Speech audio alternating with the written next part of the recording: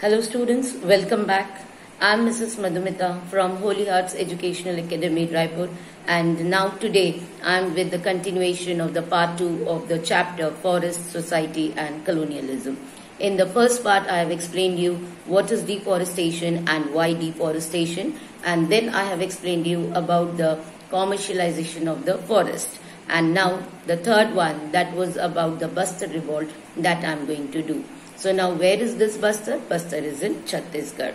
And Bastar is located, if we talk about the location of the Bastar, then we can say that Bastar is located in the southernmost part of Chhattisgarh and borders your Andhra Pradesh, Orissa and Maharashtra. Now, the river which flows through Bastar is Indravati. And there are many communities, those who are living in Bastar. And the communities are your Maria, then your Muria Gonds, Dhurwas, uh, then Halbas, and your Bhatras. And they speak different languages, but one thing very common in them is that they common a share, uh, they common mm, uh, beliefs and uh, their customs they share are same. So here you can see I have written it down. The same what I have told you is here. Clear? Now. Second, it comes is when we are talking about the Bastar revolt, it comes that what are the causes that led to Bastar revolt or what are the causes that led to the rise of revolt in Bastar? This is a very important question of your five marks. So you all can um, just note it down. So I'm repeating the question again. The question is what are the causes which led to the rise of revolt in Bastar?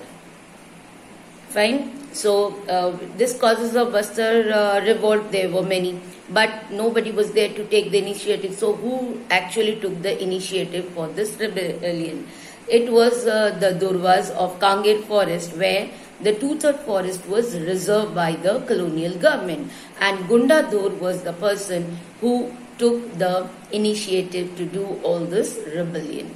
And so the first point, I'm reading it, just listen to it very carefully so that when I'll show you the chart, you can identify the points which I am telling you. So the first one, colonial government proposed to reserve two-thirds of the forest in 1905 and stop shifting cultivation, hunting, collecting of forest products and the people of Bastar became worried. So this was first reason.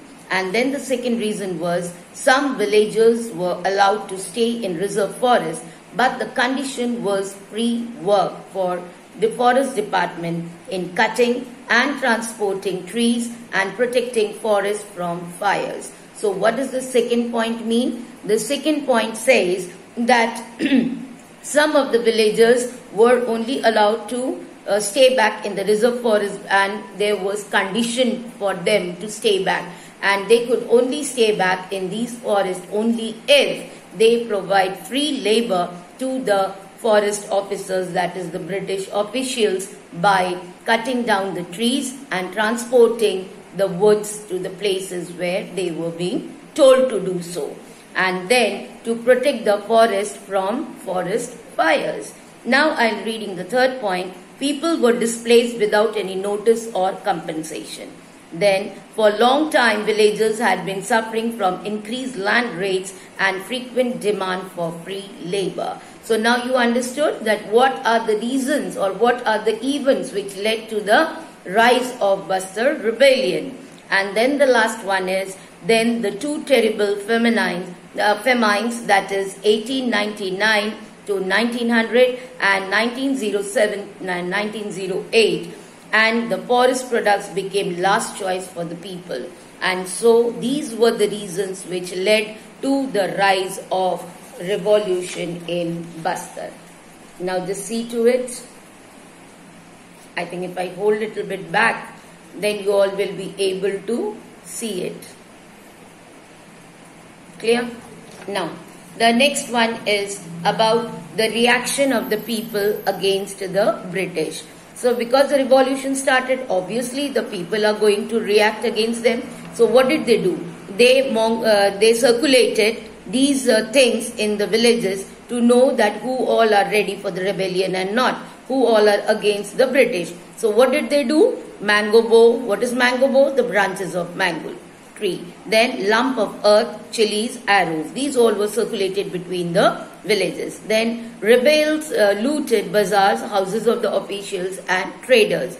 Then school and police station were burnt and robbed and grains were redistributed.